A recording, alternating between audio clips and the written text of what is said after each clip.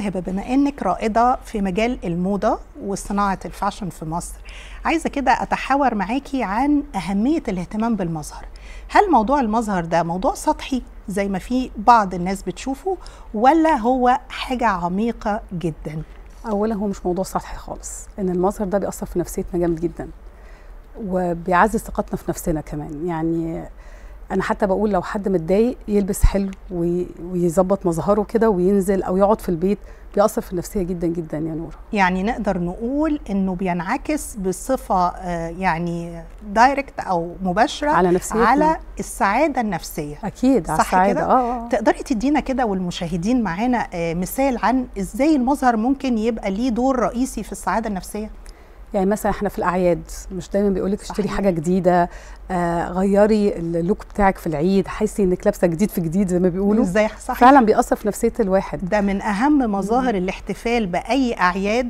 هي اللبس آه، الجديد. هي اللبس الجديد. تمام. حتى كده. لو أنا ما قدرتش أجيب طقم جديد أجيب اكسسوارز أجيب أي حاجة جديدة تحسسني بالسعادة. مظبوط. يعني مش بالضرورة إن أنا أجيب أنزل أشتري حاجة جديدة. لا. ممكن يكون عندي حاجة موجودة في دولابي. مظبوط. آه، أعيد أعيد تنسيقها تنسيقها. ألبسها بطريقة مختلفة أغير عليها حاجة أحس إن أنا غيرت. التغيير نفسه بيدي سعادة. ده حقيقي. التغيير طبعا آه، بيقتل أي رتابة في ال- في الحياة. طب أنت ذكرتي برضو إن المظهر ممكن ينعكس على الثقة بالنفس. آه، تمام. ممكن توضحي لنا أكتر النقطة دي؟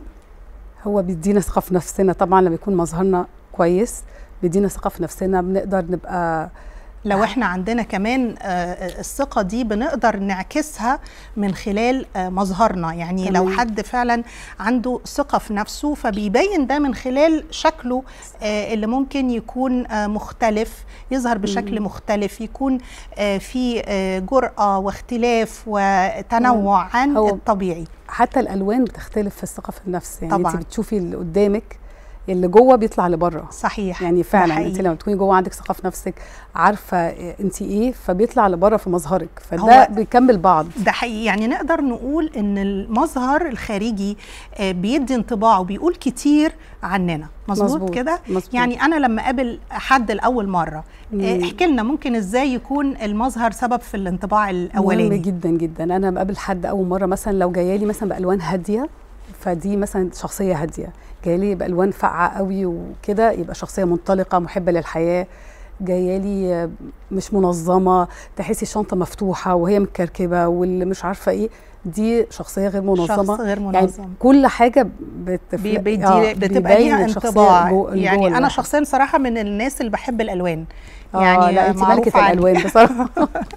فأنا بحب يعني ممكن ألبس شخصية طبعا منطلقة محبه للحياة بتحبي الحياة. فاه ففعلا ده. هو الانطباع. آه، لو حد ما يعرفنيش بي أول فعلا انطباع بياخده عني إن أنا شخصية ممكن أكون آه، منطلقة أو محبة للحياة. وهو بصراحة اللي كمان بحبه أكتر إن أنا أسيب انطباع إيجابي آه، عند. الشخص اللي قدامي يعني أنا لما بقابل حد. بألوان مفرحة أو مبهجة أيوة. بحس إن أنا نقلت له نوع من أنواع الطاقة صح، صح، الإيجابية